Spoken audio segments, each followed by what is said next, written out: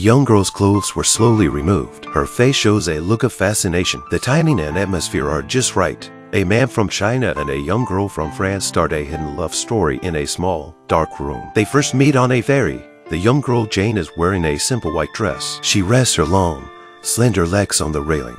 Her delicate face shows an inappropriate maturity for her age. The young girl's lonely back looking at the scenery attracted the richest man in the city. Tony walked slowly up to the girl. His offhanded approach to her revealed his nervousness at the moment. Jane only glanced at him. She wasn't about to pay any attention to this strange man. Until Tony inadvertently said his address, Jane knew it was a place where only the rich could live.